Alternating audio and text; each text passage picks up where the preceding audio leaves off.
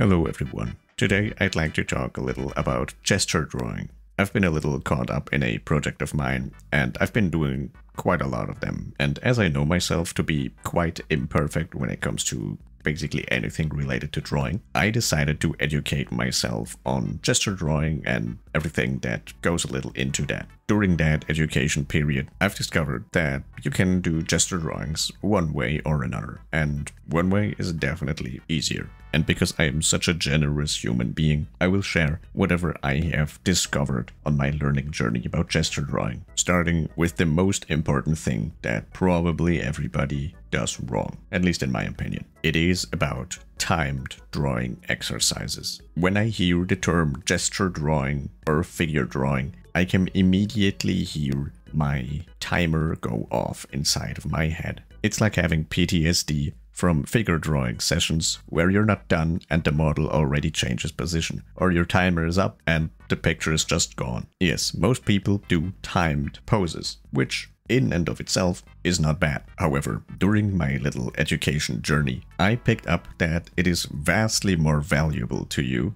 in learning and in motivation if you first assess how long do you need to make a gesture drawing. And then you decide what kind of poses you draw in what time, all while considering that you need to change pages, you need to observe your reference a little bit before you draw, and so on. The thing is, if you push yourself, you know, with limited time, that's great. However, if you're not a real good gestural drawer, then the timer is only going to make you panic once you see that you only have 10 seconds left, basically leading you to absolutely butchering the drawing that you've done. Making gestural drawings is very beneficial, and I absolutely recommend it to everybody that likes to draw humans or whatever at any given time. But if you're not already really good at them, then maybe just don't set yourself a timer and just still work efficiently. You know, don't set yourself a timer, but make a stopwatch and then see how long you've had for the drawing. With the goal in mind that when you've done your 20th or 200th gesture drawing, that you look down to your stopwatch and you see you've been quite a bit faster than the first time around. Now, the second mistake that I have been doing definitely too many times is not having a loose grip. I mean, I had a loose grip. However, my loose grip is definitely a very tight grip for basically everybody else. Since when I have a not loose grip, I basically tighten my hand around my stylus like I'm riding a banana boat or something. And learning that,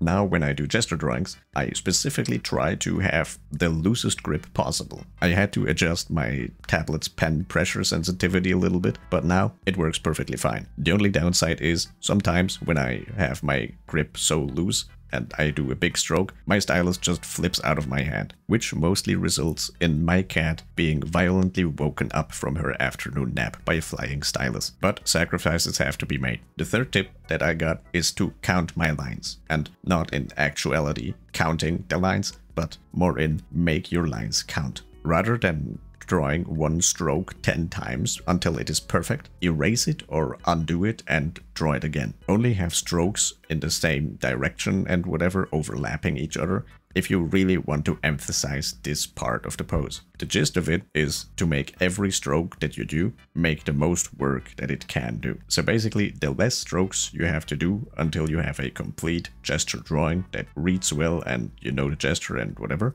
the better. That also plays in with your time management. If you usually have like 500 strokes for one painting of a gesture drawing, then you'll be cutting down on time if you only have 100 strokes, just because the physics of it. I mean, making 100 strokes is just easier and faster than 500. And if it looks the same, that's a win-win. Now, let's get to what you are actually drawing. And one of these two things I have caught myself doing a lot, and that would be drawing the anatomy as correct as possible. Now, in the words of the guy that I've talked to, fuck anatomy, at least when it comes to gesture drawings, because they're not meant to be anatomically correct. Of course, they should look like humans, but that can be achieved with basic proportion, which I wouldn't count to anatomy, or at least it's such basic anatomy that this should be basically muscle memory by now.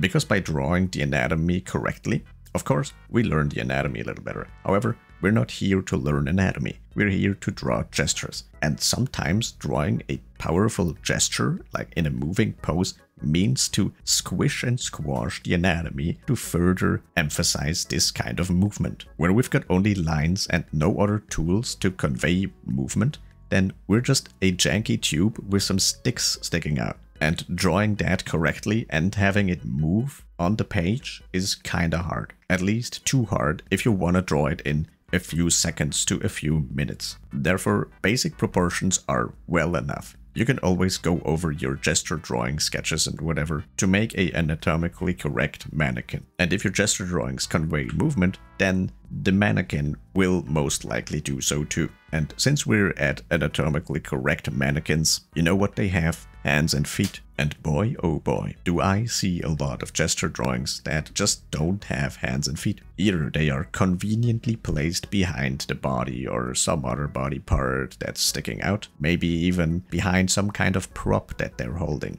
And their legs usually just end at the ankles. And let me tell you, that's pretty bad because even just a slight indication of what the hand is doing, it doesn't need to be a perfectly rendered hand or foot, but a slight indication, a triangle and maybe two boxes for the hand and just a single triangle for a foot. Everybody can do that and everybody has time for that. So why not just do it? It really adds to the pose and drawing the feet makes the figure just be grounded more. You know, it actually looks like a figure and not just some weird abstract shape from afar, which is kinda the whole point of drawing gestures. Well, and now I have saved the absolute best tip and, well, worst mistake that probably everyone does, including me sometimes, for last. That's right, I lied at the beginning it wasn't the best tip that I had. Because the absolute best tip and worst mistake that you can do is not observe your reference for a little bit before drawing.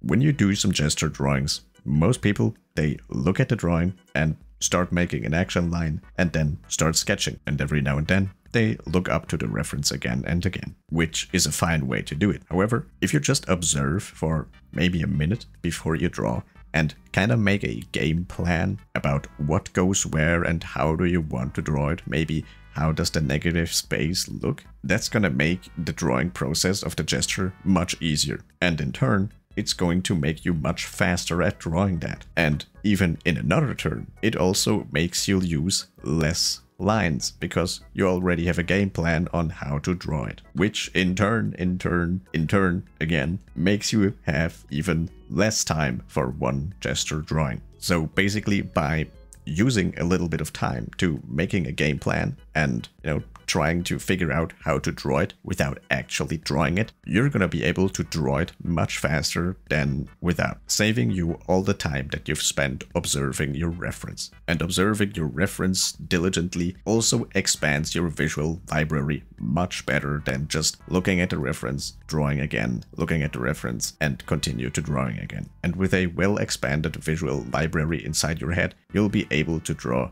most poses just without reference. But I will always recommend use the reference even if you do not need it. Now, how did you like these little tips about gesture drawings? They certainly have helped me put my gesture drawings on a whole other level. Some things I can even apply in not gesture drawing, but just simple painting and sketching and whatever. Other things I basically knew and they just got refreshed again, and that's also good. If I haven't said anything about gesture drawing tips that you know and would like to share, share them in the comments. Maybe I'll make a part 2 if we have like a lot, a lot of things that come together. But until then, or just the next video, happy drawing and goodbye.